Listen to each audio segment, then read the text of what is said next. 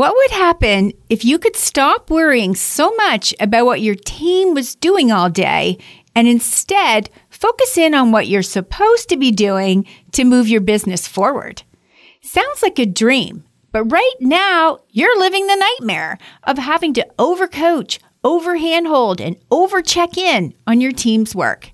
Let's put an end to that and instead roll out super clear five hour work plans, drum beats, and more of my signature tools that drive accountability and self sufficiency deep into your team. All you have to do is join a Leadership Lab program, and I'll help you turn your team troubles into triumphs. You'll be learning and growing alongside some peers that will become valuable business friends. So why not go beyond this podcast and join us? It could be the smartest thing you do this year. Book a call with me and see what program would best fit you over at the website, stackingyourteam.com slash programs.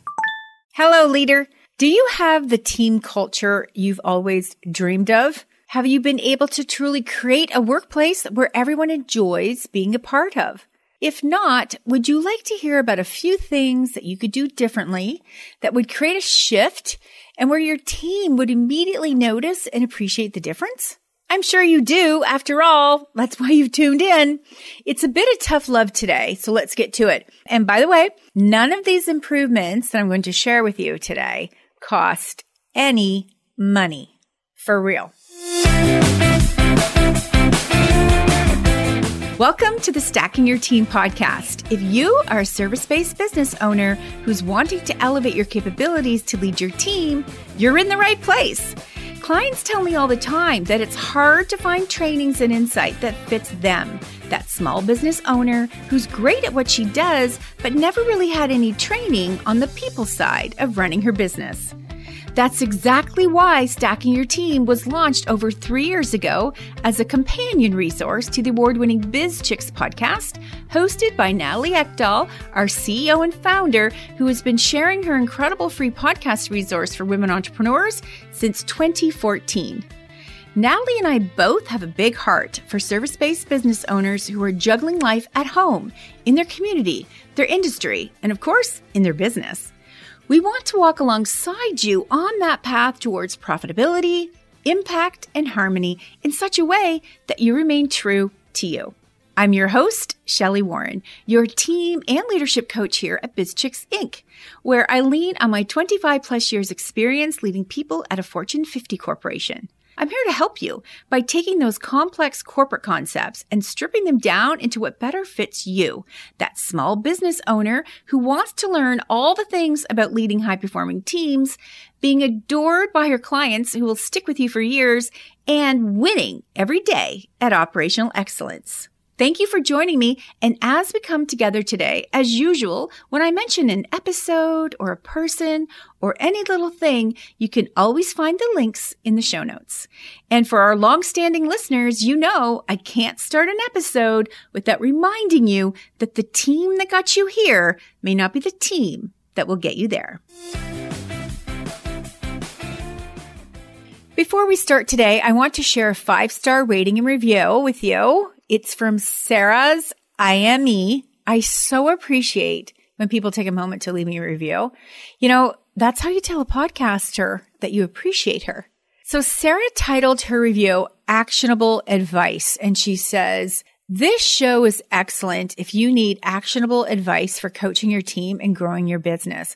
I've used Shelli's recommendations from the very first episode I listened to, and it's been a tremendous help in working with my small team. Thank you, Sarah. I'm so happy to hear that the show is helpful to you as you are leading your team. Okay, let's talk about some easy team culture improvements.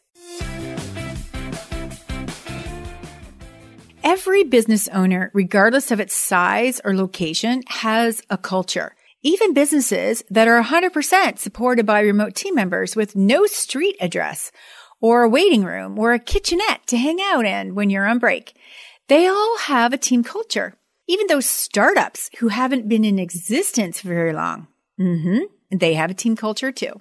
So as a leader, are you paying attention to the culture you want? Or are you settling and fretting about the culture you've got? Are you hoping things will change? Maybe that new hire will cause the shift.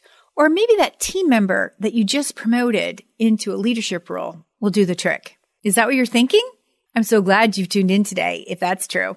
Most CEOs take great care in defining their core values, sometimes known as principles, that they believe will foster the culture that they desire. Of course, this works best when the team is involved in defining those values or principles, and there are measures in place to bring those core values alive each and every day in your workplace. There are members of the Leadership Lab that are exceptional at this, and boy oh boy, is it ever a delight to see this. They know that the culture is not a set it and forget it kind of thing. Everyone has to want it Want it enough to keep an eye on it and assess it. Notice when there's drift and work hard to bring it and everyone back into the fold. It takes adult conversations, especially those sticky ones, and an atmosphere where professionalism matters and where sharing different points of view is welcome. Team culture is a long game, and there are many factors that fold into it, such as your team members and all the uniqueness that they bring the kind of work everyone does, how you do your work, and how you collaborate and talk with one another. It all matters. That's why when things go adrift or when one person disrupts what you've got going on, it will immediately impact everything. Sometimes the disruption is exactly what you needed. Other times the disruption is awful and it takes a lot of effort to repair the damage. And that damage is costly. So leaders have to keep themselves in check and develop a high level of self-awareness so that they can stop themselves before it's too late, before they unintentionally or intentionally mess up their own team culture. You know, it's common in the leadership lab calls to hear something, a tone, a word, a phrase that I encourage my clients to switch up for an immediate change of state, change of energy, and definitely a change in the relationship she has with her team. So today I'm going to share with you five practical strategies that offer up a chance for you to make slight changes in how you bring your vision to life and build solid working relationships with your team by switching up how you talk to people. Are you ready? Some of you may find these uncomfortable, but that's okay. You're open to considering different points of view, considering learning something new, and definitely I know you can do hard things. So here's the first one. Stop using we when you really mean you when you're delegating or giving direction. And here's why. Your team knows that you personally are not going to be involved in the work. So just say so. I used to work with a leader and, you know, unfortunately, there was a running joke about her we stopped counting how often she said, We will have to look into that. We will have to fix that problem. We will have to revise our work plan so we can focus on this. We'll have to drop everything and get on it. Every time she made those comments, she'd infuriate her team, who simply wanted her to tell the truth. When I asked her why she continued to talk this way to her team, she said, I was just trying to be inclusive and reinforce the priority. She also said she wanted to let them know I'm here to support them. So I asked her, then why don't you ask them what looks like help? It was a light bulb moment for her. She tried to change how she communicated with her team, but found it difficult. She probably still does. I coached her team to simply state the facts themselves using phrases such as, Jim will lead that one, or Jim and Stan can focus on that today, and Cliff and Paul will cover for them. It's the clarity and the alignment that they wanted. So they created it for themselves. They also role modeled this for her by using names and declaring who would take the R for the specific action, never making a blank statement like we will. The risk with using we when you really mean you is that a new person on the team might actually believe you and expect that you are taking the responsibility, or at least a part of it, to resolve something and therefore defer to you and step aside and focus on something else instead. They may unintentionally drop the ball, disappointing themselves and their peers, maybe even a client, all because of that gray area that you created when you were attempting to give direction. The most effective direction is always black and white. And as Brene Brown says, clear is kind. So let's not cause any confusion about who is actually being expected to do the work and take action. Your team wants clarity, predictability, and stability. And they're ready to step up to do whatever it takes to get the job done. So why not reinforce who's got the R for the task and trust that they will deliver? You know, at our BizChix monthly team meetings that Tiffany, our operations leader, leads, we often have a lot to cover and we hold a tight boundary of 60 minutes. So I keep an eye out that we're not overlooking saying out loud who's got the R. I want to ensure that none of us walks away from the team meeting not knowing what each of us owns for follow up. So before we move on to the next improvement, let's not get this one confused with the positive leadership communication style of saying we when you celebrate or describe the mission that you and your team are committed to. Natalie has mentioned often on the BizChix podcast and here on the Stacking Your Team podcast that one of the transformations she embraced when she stacked her team was that she changed her stance of calling the business hers to calling it ours. She often uses we in celebration moments and encourages us to own the fact that the business's success is all of ours. Okay, here's the second one. Stop referring to your team as employees, contractors, my workers, my staff, or my people. Instead, refer to them as your team. Using the word team ensures a sense of belonging, compounded brilliance, and of course, it correctly implies that everyone is striving for the same goals, serving the same mission. Here's why. Using labels that position people as less than or below is degrading. I once overheard a business owner who happened to be a guest on a podcast refer to his operations leader as his deputy. Ugh, I near cried for that operations leader, who I am sure has a ton of attributes that round out all the jagged edges of his CEO, much to the delight of the extended team, thank heavens. Referring to people with their name and their title and a short reference as to the impact they're having in the business reinforces to them that they matter. It also makes it crystal clear that you appreciate them as a person, not a possession. Linked to this one is the suggestion to stop using the phrase, he works for me, and instead get into the practice of saying, we work together, or we work alongside each other. Can you feel the shift? Labels and phrases like, he works for me at the Montreal location, can be interpreted by that team member that you feel that you own him. And that's never a great feeling. Now, I can hear some of you saying, well, it's true. The guy does work for me. yes, he does. Yes, you pay him, but he's his own person and he always will be. He wants you to respect him and the impact he has on the business. So choose words and phrases that positions him well. It's a fact. How leaders make their team members feel is a huge factor in retention. You've heard it before. People quit bosses, not companies. I'm sure you know someone who has left a great job because they simply felt unseen, unheard, and underappreciated. I know I do. I've done it myself a few times. Back at that Fortune 50 corporation I worked at, my team members often told me that they appreciated how I interacted with their family at social events and when I bumped into them, like at the grocery store. With most of them guys, they'd introduce me to their wives and their children as, this is my boss, Shelli. And I'd always respond with, your dad and I work alongside each other. It was the truth. Their success was my success and vice versa. We were always in it to win it together, regardless of the role titles and the pay. And I was conscious of their desire for their family to respect them as providers and for their expertise that they shared, leaving the house every day and going off to work. It's a simple thing, but it's incredibly powerful. If I still haven't convinced you of this one, how about considering this? You often hear me say that leaders tell me that they want an up level in performance across the entire team but they don't know how to encourage it. Mm-hmm. I get it.